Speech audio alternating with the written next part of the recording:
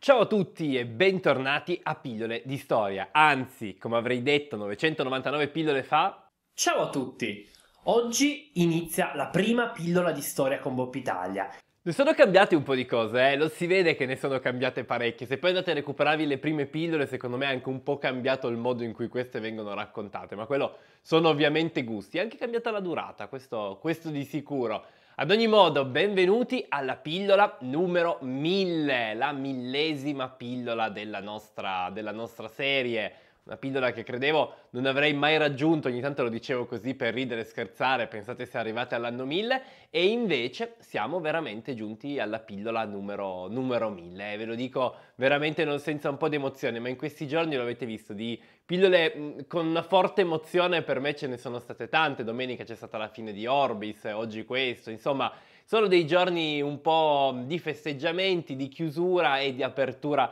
di un nuovo periodo. Ad ogni modo, dato che le tradizioni si rispettano anche per questa pillola numero 1000, eh, voglio fare un viaggio nel tempo. Così come tradizione, ogni 50 pillole prenderemo la nostra DeLorean, eccola qua, e insieme a lei inizieremo a fare un bel viaggio nel tempo. Tutti insieme ci sposteremo nell'anno 1000 e proveremo a scoprire qualcosa di quest'anno. Viaggeremo come se fossimo dei turisti attraverso il mondo. Vi dico già che in questa puntata ci concentreremo principalmente sull'Eurasia, anche perché c'è molto da dire e perché nella puntata scorsa, quella 950, invece abbiamo parlato molto molto dell'Africa, dell'Oceania, delle Americhe e non c'è molto altro da aggiungere in questi 50 anni. E quindi vi dico facciamo tutti insieme questo viaggio nel tempo, scopriamo tanti particolari su quest'anno così particolare, così iconico, ma così vedremo anche pieno di personaggi, proprio personaggi più che stati molto molto interessanti. E perché no, prendiamo magari qualche spunto per le prossime mille pillole di storia. Quindi mettetevi comodi, iscrivetevi al canale se non siete già, cliccate sulla campanella per essere aggiornati ogni volta che esce un nuovo video. I ringraziamenti li metto alla fine, così abbiamo una, una buona conclusione e non eh, mi commuovo prima di iniziare a raccontare. Quindi sigla e poi viaggiamo nell'anno 1000.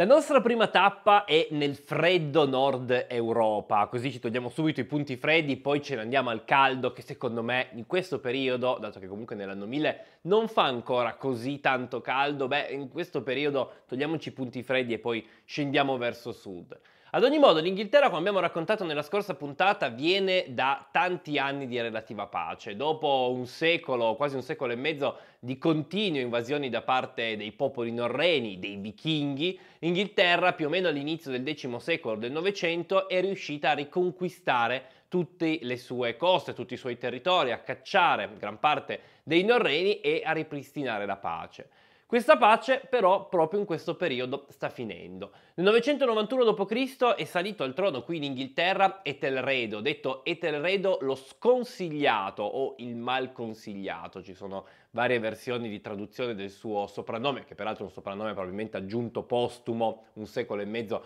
due secoli dopo. Etelredo è salito al potere nel 991 grazie alle macchinazioni e soprattutto agli assassini fa ordinati dalla madre che ha risolto il problema e gli ha spianato la strada per il trono. Ma fin dall'inizio si è trovato a vivere in un periodo molto diverso rispetto al padre, perché negli ultimi anni sono riprese le razzie da parte dei vichinghi, sono riprese anche le invasioni con una grande flotta di invasione che pochi anni fa è sbarcata in Inghilterra e a lungo combattuto contro gli inglesi e forse una risposta sbagliata a questo tipo di invasioni il nostro Terredo la darà di qui a due anni, nel 1002, quando ordinerà quello che è passato alla storia come il grande massacro dei danesi, cioè ordinerà la morte eh, di tutti o la maggior parte dei norreni che vivono in Inghilterra, siano essi mercanti, soldati, donne, bambini, non importa. Questo grande massacro, di cui abbiamo informazioni diverse, qualcuno dice che sia stato un massacro limitato, ingigantito dalla propaganda dei norreni, qualcuno dice che invece sia stato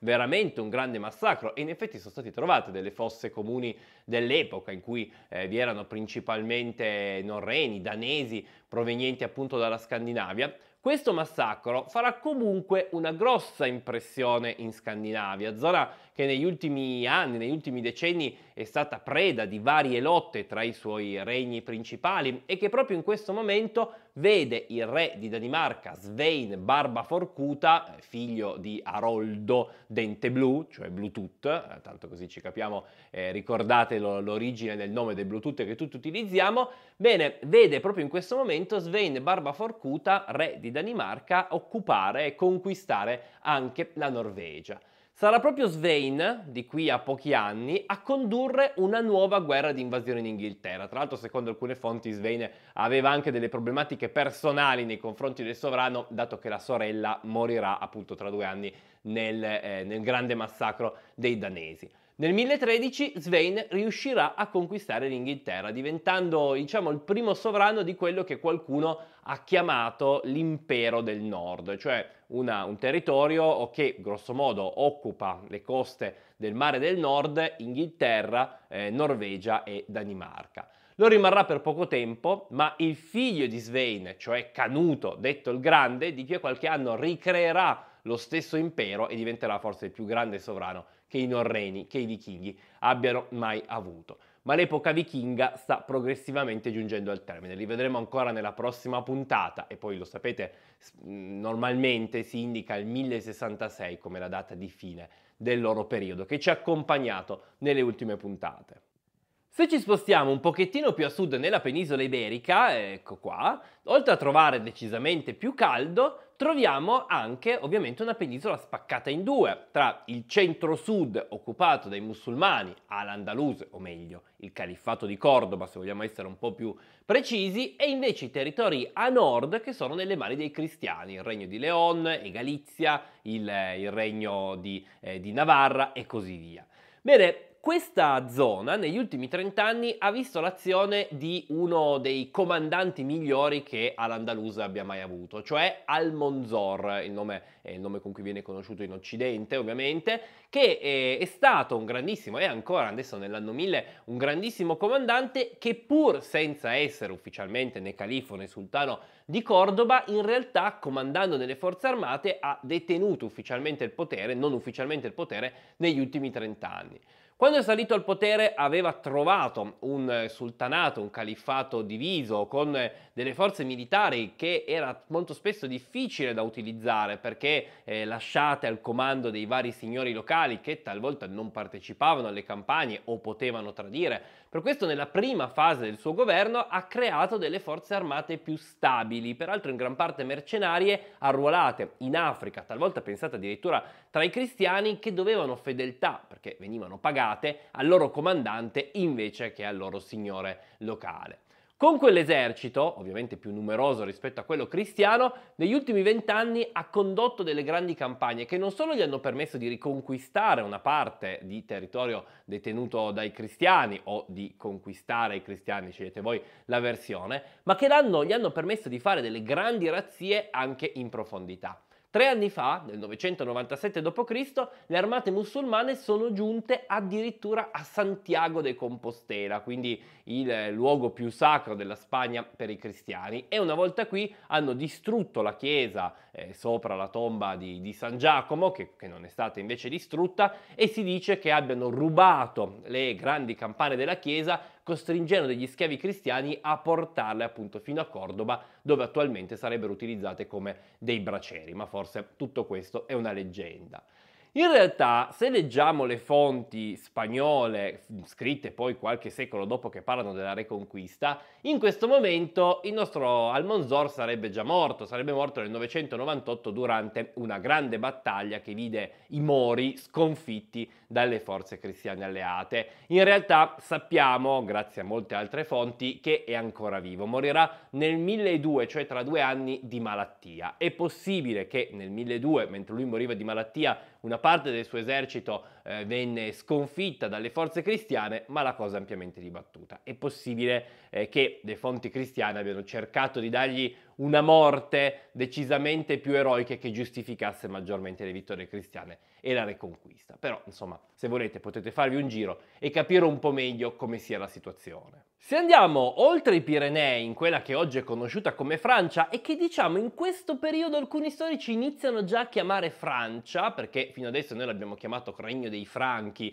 ma qualcuno inizia già a dargli il nome Francia, le cose sono in effetti molto cambiate. Sono cambiate una trentina, grosso modo, di anni fa, quando è morto, anche meno, 20-20 e poco più anni fa, quando è morto l'ultimo dei sovrani carolingi, cioè Luigi V, detto il fannullone, quando uno proprio dei, ha dei bei soprannomi. La morte di Luigi V, che è morto senza eredi, ha spinto i nobili di Francia, i nobili dell'attuale Francia, a scegliere come nuovo sovrano un lontano cugino, cioè Ugo Capeto, che come sapete, come riuscite a capire dal nome, sarà colui che darà vita alla dinastia dei Capetingi, appunto da Ugo Capeto, che regnerà in Francia, pensate, fino alla rivoluzione francese, poi brevemente anche dopo la caduta di Napoleone. Insomma, una dinastia lunghissima che inizia proprio da Ugo Capeto. Ugo Capeto, il quale possiamo dire in qualche modo stacca quasi definitivamente la Francia dal resto del Sacro Romano Impero. Da questo momento le lotte che abbiamo raccontato nelle ultime puntate, che vedevano i re di Francia, quelli della parte tedesca, quelli della parte italiana, lottare per il titolo imperiale, a tutti gli effetti finiscono per la Francia, che per carità tornerà a interessarsi del titolo imperiale più avanti, ma senza più questa componente, possiamo dire, familiare. Ad ogni modo, il, attualmente Ugo Capeto è morto, è morto quattro anni fa nel 996, a sostituirlo è stato il figlio Roberto. In realtà in questo momento però in Francia non si parla tanto di aspetti eh, diplomatici, militari, per quanto in questi anni di scontri tra le varie fazioni di nobili ce ne siano stati, ma si parla molto di aspetti sentimentali. Perché? Perché Roberto è da molto tempo innamorato di Berta di Borgogna, un bellissimo nome per carità, la quale però è anche sua cugina, sua cugina di terzo grado, ma comunque sua cugina, e questa sua richiesta di matrimonio che venne quando Berta rimase vedova della, del primo marito e Roberto della prima moglie, perché insomma di matrimoni ce n'erano già stati, questa richiesta di matrimonio fu respinta più volte da Ugo Capeto. Quando però Roberto divenne sovrano e nessuno gli disse più che non poteva farlo, decise di prendere in moglie Berta di Borgogna. La cosa scatenò la reazione dei suoi nobili, ma soprattutto la reazione del Papa, che dopo avergli prima intimato di non prendere moglie, quando poi il matrimonio avvenne lo stesso, inflisse ai due sposi sette anni di penitenza, e vabbè, ma soprattutto li scomunicò e creò e fece un interdetto su tutto il loro regno. La cosa ovviamente era gravissima perché non solo scomunicava i due, ma a tutti gli effetti bloccava e rendeva nullo qualunque atto religioso avvenuto nel loro, nel loro regno. Immaginate gli effetti sulla vita della povera gente, anche se probabilmente non tutti lo vennero pienamente a sapere. Nonostante tutto questo, i due non si separarono inizialmente, ma iniziarono una lunga lotta per cercare di ottenere il perdono. Lunga lotta che è terminata poco più di un anno fa, quando sul soglio pontificio è salito per la prima volta un papa francese che ha preso il nome di Silvestro II, il quale ha deciso di togliere l'interdetto e la scomunica lasciando soli sette anni di, ehm, di penitenza. I due però comunque si separeranno lo stesso di qui a poco più di un anno. Il matrimonio non, non, darà figli e dato che Roberto doveva assicurare una discendenza prenderà una terza moglie che invece gli darà figli, anche se pare che i due, Roberto e Berta, continueranno a frequentarsi fino alla morte eh, di lei. Ma insomma queste, questi sono pettegolezzi ad ogni modo. La cosa interessante e curiosa è che oggi Roberto è ricordato come Roberto il Pio. Curiosità storiche. In realtà però Papa Silvestro non doveva la sua elezione tanto al re di Francia quanto all'attuale imperatore del Sacro Romano Impero, cioè Ottone III. Ottone III è un giovane uomo che in questo periodo è riuscito a ripristinare buona parte del controllo su quello che è appunto il territorio del Sacro Romano Impero attualmente, quindi la Germania e l'Italia, per farla in maniera molto molto semplice. Lo ha fatto attraverso una serie di campagne che nonostante la sua giovane età lo hanno visto vittorioso, molto spesso in realtà senza doversi realmente scontrare con i suoi avversari, ma semplicemente facendo leva sulla forza del suo esercito. Alcune campagne fatte in Germania per porre fine ad alcune ribellioni e poi ha ben due discese in Italia. La prima nel 996, sceso in Italia per essere ufficialmente incoronato come imperatore dal Papa e la seconda, nel 997, l'anno dopo, riscese in Italia, questa volta per aiutare il Papa, che era stato, eh, messo, era stato minacciato da un, nobile, da un nobile romano che aveva addirittura nominato un antipapa. Ottone scese in Italia, prese il nobile romano e lo ammazzò, gli tagliò la testa e lo appese per i piedi, prese l'antipapa e lo mutilò. La cosa farà grosso scalpore, ma in qualche modo salderà molto il rapporto tra Ottone e il papato. Ottone che peraltro rimase poi due anni, quindi fino a un anno fa, nel 999, a Roma, addirittura restaurando uno dei palazzi imperiali, quasi ad indicare una vera e propria successione tra il suo titolo e quello degli antichi imperatori romani, tanto che si parla di renovatio imperi. Bene, questa situazione nel 999 venne ancora più accentuata quando venne eletto appunto il nuovo Papa, che vi ho detto era francese, ma molto legato ad Ottone e che scelse un nome assolutamente non casuale, Silvestro II appunto. Perché? Perché Silvestro I era stato il Papa ai tempi di Costantino e quindi c'era un po' l'idea che in quel momento si stesse rinnovando un nuovo grande impero romano cristiano. Le cose poi andarono in realtà diversamente, perché nonostante tutti i progetti, nonostante tutti i disegni che erano stati fatti, peraltro Silvestro II era un uomo molto acculturato, che aveva viaggiato, aveva grandi conoscenze, nonostante tutto questo, Ottone III morirà di qui a poco, a due anni, e tutta questa idea, questo sogno di restaurazione probabilmente naufragherà, anche perché in Italia la sua dinastia non riuscirà inizialmente a mantenere il controllo, dato che la corona del Regno, del Regno d'Italia andrà ad Arduino di Ivrea e questo creerà nuovi scontri, ma ne parleremo nelle prossime puntate. Sul fronte orientale, in questo periodo l'impero conosce una relativa calma, anche perché i suoi vicini più potenti, cioè i polacchi, in realtà si sono convertiti al cristianesimo. Dopo anni di scontri tra pagani, eh, polacchi e cristiani eh, tedeschi, circa una trentina di anni fa i polacchi si sono convertiti al cristianesimo. Ovviamente non sono ancora tutti convertiti, sono convertiti l'elite, i sovrani, ma progressivamente il cristianesimo si sta diffondendo. Come tutti voi sapete, oggi la Polonia è un baluardo del cattolicesimo in, in Oriente. In questi stessi anni in realtà sta nascendo la Polonia così come la conosciamo, perché Boleslao I, detto talvolta il conquistatore, sta conquistando tutti i vari ducati, le varie signorie che compongono il territorio dell'attuale Polonia e riunificandole proprio nel primo eh, regno eh, di, di, Polonia, che possiamo dire che intorno all'anno 1000, poco prima, è ufficialmente nato. Quindi in questo momento la Polonia ha mutato il suo volto, è diventato un regno cristiano, è diventato un regno unificato ed è diventato quel regno orientale che nei prossimi anni, nei prossimi secoli continuerà a crescere fino a diventare uno dei regni più potenti in Europa e la sua storia sarà molto molto lunga e terminerà poi nel XVIII secolo quando sarà spartito dalle potenze vicine. Ma della Polonia nelle prossime puntate torneremo spesso a parlare perché ripeto anche se se ne parla poco da noi in realtà la Polonia poi il Commonwealth polacco-lituano diventerà un regno molto importante ma stiamo anticipando veramente molto i tempi. C'è un altro regno che in questo periodo sta andando incontro a vari mutamenti e quel regno è il Rus di Kiev, che ogni tanto si sente nominare recentemente come l'origine dell'attuale Russia, anche perché l'attuale sovrano nell'anno 1000 del Rus di Kiev è diciamo motivo attualmente di scontro fra russi e ucraini ed è Vladimir I. Vladimir eh, che ripeto per gli ucraini era ucraino, per i russi era russo e però aveva la sua capitale a Kiev, è più che altro ricordato non solo come un grande conquistatore, perché espanse i domini del russo di Kiev verso est e verso nord, creando veramente un regno molto potente, ma è ricordato anche perché nel 988, prendendo in moglie la sorella Anna dell'imperatore di Bisanzio Basilio II, si convertì al cristianesimo. Ora, qualcuno potrebbe dire si convertì per amore, in realtà no, tutto questo fu parte di un disegno Vladimir si era reso conto di avere necessità di abbandonare quelle che erano le antiche tradizioni slave, nordiche, a cui lui stesso credeva, almeno fino alla conversione, per poter entrare più a pieno diritto nel consesso degli stati occidentali che stavano crescendo e per questo pare, secondo alcune leggende, che avesse mandato degli studiosi a studiare le altre religioni e poi fosse rimasto affascinato dal rito ortodosso praticato a Bisanzio perché molto, molto elegante, molto sfarzoso e avesse deciso di convertirsi.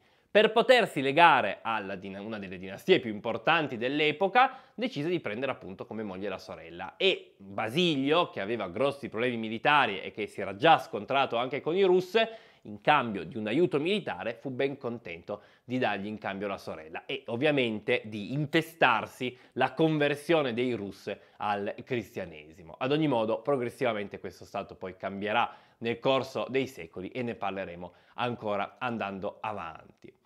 Dato che l'abbiamo nominato, scendiamo a sud, perché in questo momento, se andiamo a Costantinopoli, che resta la città più importante dell'Occidente cristiano, possiamo trovare uno degli imperatori eh, più incredibili dal punto di vista militare della storia cristiana. Ne abbiamo anche parlato in Clash of Generals, cioè Basilio II, detto il Bulgaroctono. Basilio II è un uomo che per tutta la sua vita combatté su tutti i fronti. Combatté inizialmente all'interno per sedare due rivolte che gli volevano strappare il trono, combatté in Oriente dove si scontrò contro i Fatimidi, eh, con, eh, con, gli arabi di Baghdad, riuscendo peraltro ad ampliare in parte i domini, occupando la città di Aleppo, ma come dice il nome, bulgaroctono, combatté soprattutto nei Balcani, dove in lunghe campagne che sono iniziate pochi anni fa e che continueranno nei prossimi anni, riuscirà a sconfiggere un pezzo dopo l'altro l'impero bulgaro, che abbiamo visto negli ultimi anni essere una vera spina nel fianco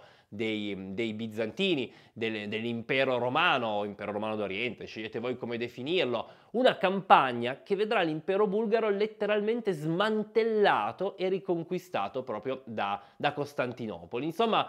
il suo appellativo, quello di Bulgaroctono, è assolutamente meritato, così come è meritata la sua nomea di essere stato uno dei migliori comandanti militari bizantini romani dell'epoca. Ad aiutarlo in questa sua campagna anche il fatto che in questo momento il fronte musulmano a sud dell'impero bizantino è più spaccato che mai, è più spaccato che mai tra due fronti religiosi. Da una parte l'impero fatimide con sede in Egitto che è, è sciita, ismailita, e dall'altra parte invece i domini califfali sunniti che fanno capo a Baghdad che invece ovviamente appunto sono sunniti. Mai come in questo momento questi due mondi sono spaccati, mai come in questo momento forse c'è stata la possibilità che gli sciiti riuscissero a diventare dominanti, almeno a livello politico, in tutti i territori musulmani. In questo momento a governare in Egitto il califfato fatimide è Al-Hakim, che in Occidente, pensate, talvolta, veniva talvolta ricordato come il califfo nero o il califfo pazzo, questo perché si diceva che fosse un uomo durissimo, durissimo col suo popolo, durissimo con gli oppositori, durissimo soprattutto nei confronti di coloro che avevano delle religioni diverse, che fossero musulmani sunniti, che fossero ebrei, che fossero cristiani. Pochi anni fa ha dato ordine che la chiesa del Santo Sepolcro a Gerusalemme, Gerusalemme fa parte dei suoi domini, venisse distrutta. L'antica chiesa che era stata costruita all'epoca di Costantino fu in effetti completamente distrutta e recentemente, ma se voi volete farvi un viaggio lo potreste scoprire ancora adesso, ma vi dico che recentemente degli archeologi studiando la base dell'attuale chiesa del Santo Sepolcro ricostruita successivamente hanno scoperto in effetti i resti di quella antica, antica chiesa, a indicare che probabilmente ovviamente per quanto distrutto poi quel, il sepolcro che era stato identificato ai tempi di Costantino come quello di Cristo in realtà rimase all'interno senza essere distrutto. Ma su questo ci sono ancora molte discussioni. Purtroppo non possiamo scoprirlo in questo nostro viaggio del tempo perché la chiesa è già stata distrutta e non c'è modo di, eh, di, di, recuperare, di recuperare altre informazioni. Chi è il grande avversario di Al-Hakim? Beh, è un altro califfo, questa volta appunto sunnita di Baghdad, cioè Al-Qadir. A differenza di Al-Hakim, che ha un grosso potere anche politico nei suoi territori, Al-Qadir di potere politico ne ha pochissimo, assolutamente pochissimo. A comandare i suoi domini sono i suoi signori che mantengono il controllo delle truppe, mantengono i controlli, a controllo appunto del territorio, Al-Qadir però in questi anni si sta dando, gran, da, sta dando un gran da fare per cercare di aumentare il potere dei sunniti e lo farà con il cosiddetto manifesto di Baghdad, cioè una serie di direttive che da una parte condanneranno gli sciiti e condanneranno lo stesso Al-Hakim e la sua dinastia dicendo che la loro discendenza eh, da, da, da, Fatima era una discendenza assolutamente fittizia, dall'altra parte daranno delle direttive appunto al culto sunnita e alcuni considerano questo manifesto di Baghdad una delle basi dell'attuale organizzazione religiosa dell'Islam sunnita che come tutti voi sapete ora è assolutamente maggioritario nel mondo musulmano. L'Islam peraltro non ha ancora perso la sua grande capacità di conversione, tanto che continua a spingersi all'interno dell'Asia centrale convertendo progressivamente le genti turche che fino a questo momento avevano un credo di tipo animista e che invece si stanno continuando a convertire all'Islam. Tra questi ci sono delle genti eh, turche appunto dette i Karakanid che proprio in questo periodo, dopo essersi convertiti all'Islam, hanno condotto una serie di campagne che li hanno portati a creare un vero e proprio impero nell'Asia centrale, occupando anche alcuni dei principali terminali della Via della Seta, cioè Samarcanda e Bukhara, famosissima per sue, i suoi tessuti. Bene, questo sultanato Karakanid, che in questo momento è probabilmente all'apice della sua grandezza, anche se in realtà è nato da poco più di, di 20 anni, ha delle forze militari molto potenti che da una parte gli permetteranno di continuare l'espansione, dall'altra di qui a una decina d'anni gli permetteranno di respingere invasioni provenienti da altre genti turche, non ancora convertite da nord. E questo probabilmente permetterà all'Islam di stanziarsi definitivamente in questa zona. La sua organizzazione però è tutt'altro che centralizzata, sono popoli nomadi che eh, dividono il loro territorio sotto il comando di vari signori, anche perché il territorio è molto ampio. Anzi, il, l'impero Karakanid viene proprio diviso in 9-10 parti tra i vari membri della famiglia della corte che teoricamente rispondono ad un signore avendo però larga autonomia, una specie, se così possiamo dire, di sistema feudale, che da una parte gli permette di essere molto forti militarmente e di intervenire in varie zone, dall'altra, inutile dirlo, porta alla frantumazione. Di qui a 50 anni i Caracanide si divideranno definitivamente in due, di qui a 150 si, di- si frantumeranno talmente tanto da sparire del tutto, ma questo un po' è il destino di questi, di questi popoli. Poco più a sud, in Afghanistan sta nascendo un altro regno, quello dei Ghazvanidi. A farlo nascere, pensate, è stato uno schiavo, il cui nome era Sabuktigin,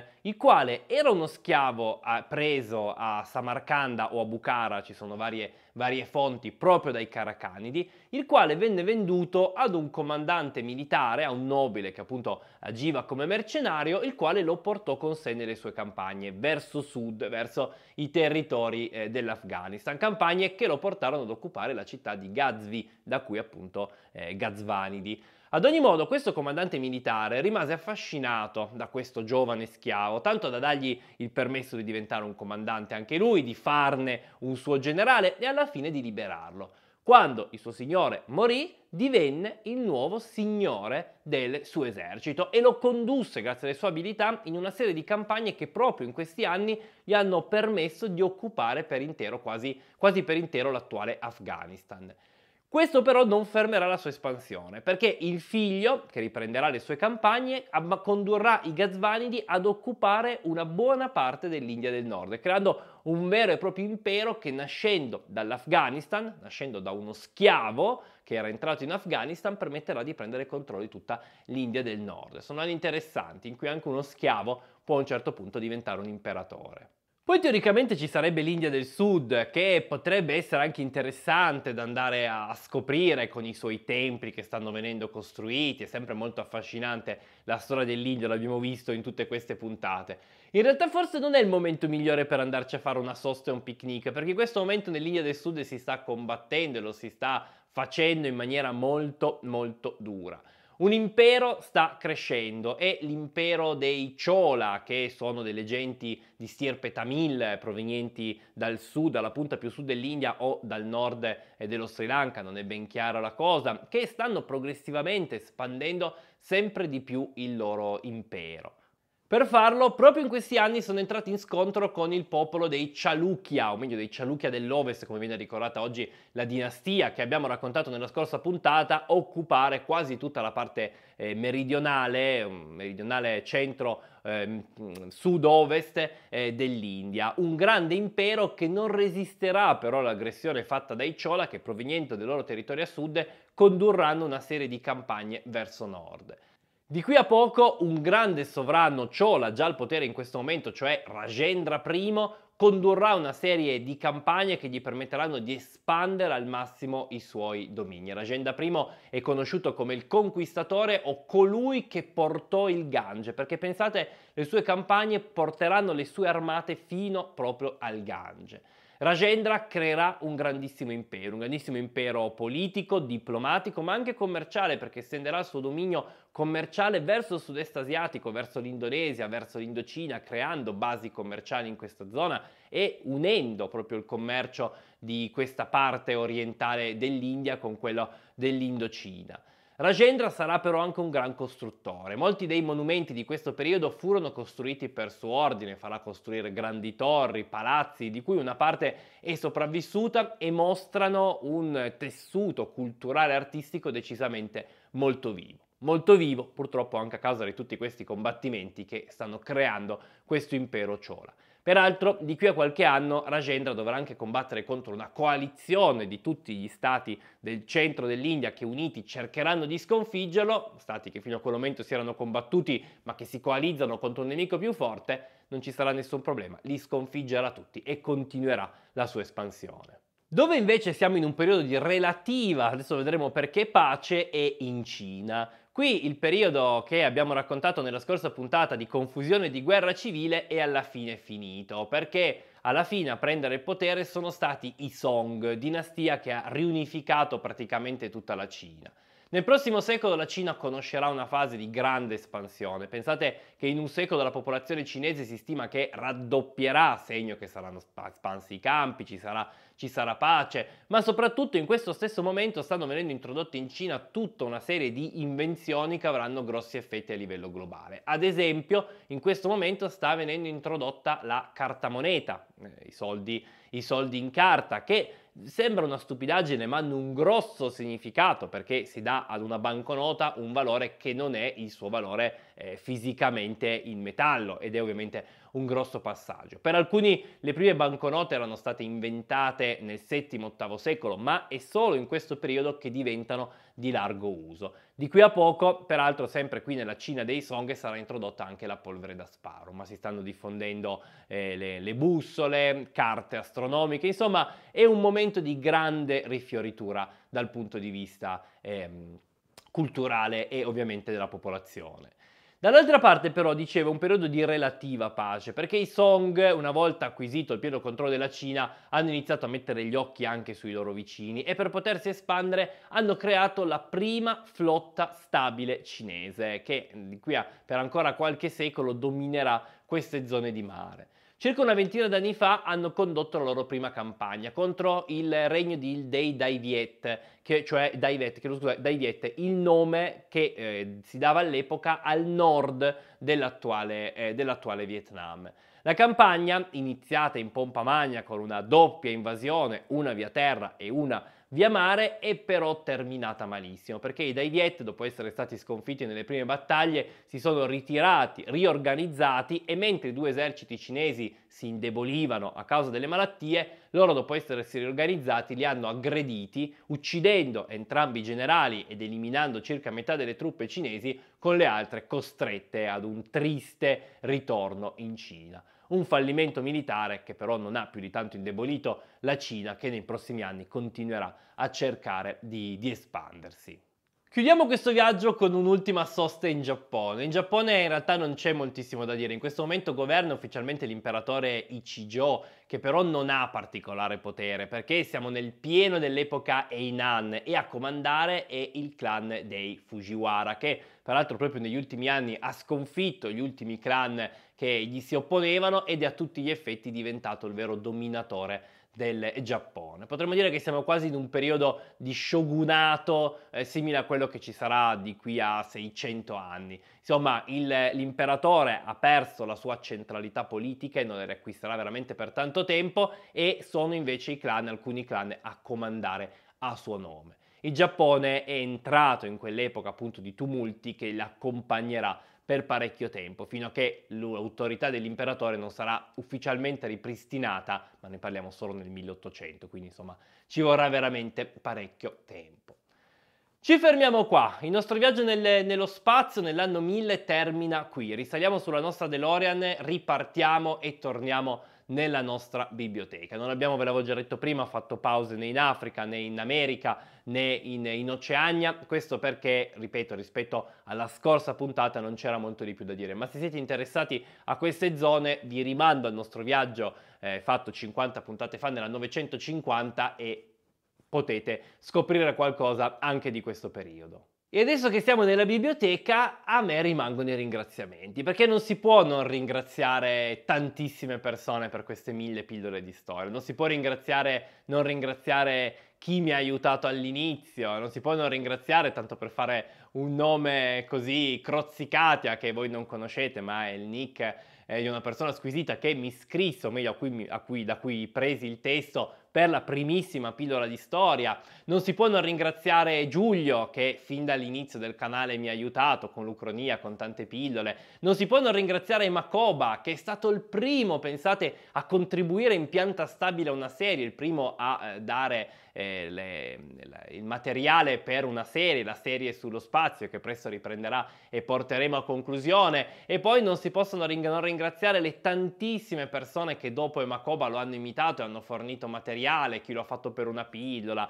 chi con Antonella lo ha fatto per 40 pillole e man mano lo sto smaltendo, chi si è occupato anche talvolta della parte reale come Ilaria che ha organizzato addirittura un incontro che faremo tra qui a qualche giorno a Milano, ve l'ho già annunciato. Insomma, non si può non ringraziare le tantissime, tantissime persone che forse perché hanno creduto in questo canale, nel progetto, forse perché semplicemente si sono divertite a farlo, hanno voluto contribuire in mille, mille modi diversi. Non si può non ringraziare tutti quelli che hanno commentato questi mille video, chi ha fatto delle correzioni, chi ha consigliato nuovi video, insomma non si può non ringraziare tutti voi, perché questo progetto delle pillole di storia della Biblioteca di Alessandria è ormai un progetto comunitario, esattamente come dovrebbe essere una biblioteca.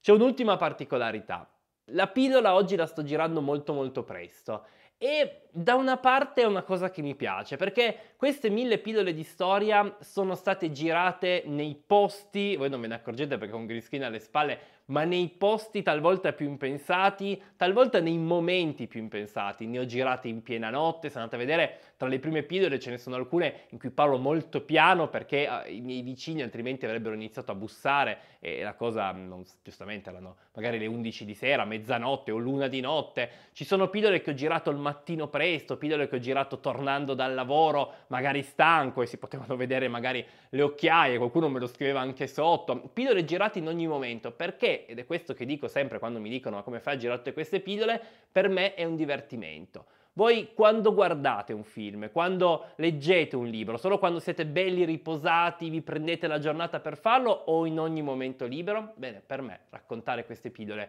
queste mille pillole, più la peristoria, le pillole di sport, quelle di cinema, quelle di mitologia, tutto il resto, ecco, tutto questo è un divertimento e lo si può fare veramente in ogni momento. Quindi vi ringrazio ancora una volta tutti, ringrazio anche in questa puntata come sempre gli abbonati, i Patreon e chi fa donazioni sul conto PayPal, perché anche grazie al loro sostegno questo canale riesce ad andare avanti e riusciamo ad avere nuovo materiale a disposizione di tutti. L'ultimo anno credo sia stato da questo punto di vista molto molto paradigmatico i soldi che vengono donati vengono utilizzati per togliere a me del lavoro, trovare persone che facciano una parte del lavoro che fino a questo momento ho fatto io e questo mi permette di produrre più materiale, di limitarmi alla parte che mi diverte di più, cioè fisicamente a raccontare e poi montare i video. Ad ogni modo, il ringraziamento di oggi in particolare vale per lei, vale per tutti e per Anna Falz. Grazie mille tantissimo per il tuo aiuto. Per il resto, come sempre, avrei voluto mettervelo quello della prima puntata, ma non posso perché nella prima puntata non lo dissi, ci misi qualche puntata ad arrivare a questa frase, quindi come sempre, ve lo dico adesso dal vero, la cosa importante dopo ancora mille pillole è essere curiosi, perché la storia del mondo là fuori ha ancora tantissime storie da raccontare, tantissime storie da raccontare, spazio per chissà quante altre pillole, Storie che sono talmente particolari, talmente curiose che nessuno scrittore, nessun regista avrà mai la fantasia di mettere nelle loro opere. E così, mantenendo l'errore che ho sempre fatto e continuo a fare dal punto di vista grammaticale in questa frase, ma ormai è tradizione, non posso che consigliarvi di provare a curiosare tra qualcuna delle mille e più storie che abbiamo raccontato in questo nostro viaggio fino a questo momento, qui a fianco. Le troverete qui a fianco. Per il resto ci vediamo presto per la milleunesima puntata di Pillole di Storia, la 1002, la 1003 e così via, finché avremo voglia di andare. A presto e ciao ciao!